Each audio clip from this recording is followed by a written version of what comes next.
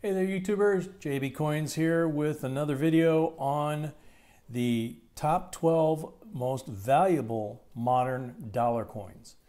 Uh, and of course the first one, uh, or the top one still, uh, is the Sacagawea quarter uh, mule coin, uh, of which 16 are known and they have sold in price uh, range from 40,000 to 150,000. Uh, there's a collector in New Mexico named Tommy Bolack who now owns 12 of the known 2000p double denomination mule errors. Uh, he said on May 7th that of this year that he paid $85,000 to acquire from Fred Weinberg uh, an example graded MS66 by PCGS. He has spent hundreds of thousands of dollars acquiring the error coins. Uh, the highest publicly known price for any of his mule heirs is $117,500 that he paid to acquire an NGC MS67 example from Die Pair 1 uh, at Stack's Bowers Gallery auction August 6th of 2014. Uh, the number two coin is a 2007 George Washington struck on a Jefferson nickel graded MS64. It sold at Heritage Auctions uh, January of 2017, uh, January of 2017 for $17,625. Um, so you're looking on, on a nickel planchet for that one. Number three is this 2007D Sacagawea dollar with edge lettering. There's only one known. PCGS reported on their website that they paid out a $10,000 reward to Andrew Moores of Lakewood, Colorado for submitting the first authentic, known authentic Sacagawea dollar with edge lettering on it. The coin's discovery and pocket change, pocket change, check your change, 2007, after his reward, he was able to keep the coin. Uh, the coin was later sold for $17,161 on July 15, 2012, at auction by Great Collections. The next coin is a 1999 Susan B. Anthony uh, on a Sacagawea gold planchet. Four are known to exist. Uh, they sell in a range of twelve to fifteen thousand dollars each, and you can see they're actually a fairly pretty coin on that on that planchet. Um, the next one is a 2000p Sacagawea on a Susan B planchet. There are approximately five of those known, and they also are selling twelve to fifteen thousand dollars a piece. In the condition you're seeing, by the way.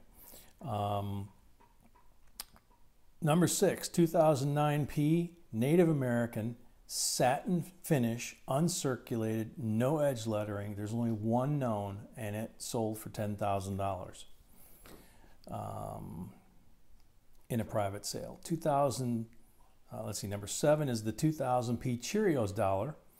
Uh, 5,500 were made and were in Cheerios boxes.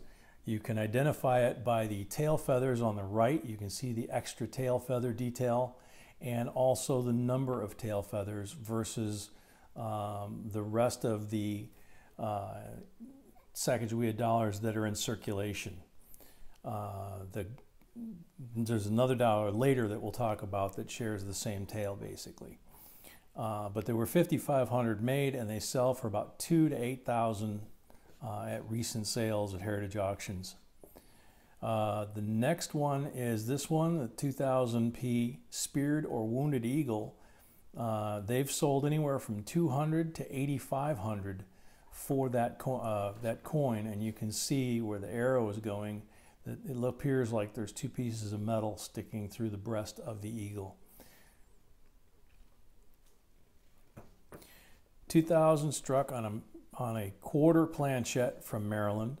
It sold April 5th of 2017 at Heritage Auctions for $6,462. This one, which is really cool, uh, is um, it's a 2000 uh, uh, MS66 obverse cap die, sold at Heritage Auctions January 2016 for $5,875. Number 10 is a 1981 S Susan B, MS67. She sold at Heritage Auctions February of 2017 for $4,465. Is extremely rare. There are three in MS67 and none finer. Number 11 is a 2000p um, Goodacre presentation special price uh, special strike. This is the one I was referring to with the Cheerios dollar. There are 5,000 known. These coins were her payment for designing the uh, Sacagawea dollar, as it says on the uh, on the uh, holder. It was they were presented to her uh, for uh, being the sculptor for the obverse that you're looking at.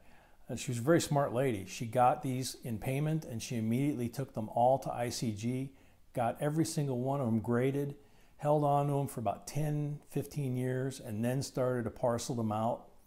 And eventually, before she passed, she um, sold the remainder to a collector uh, or to a dealer who is now uh, selling them out. The last one that went, went up for public sale sold January 17th for $3,290 in MS69 condition.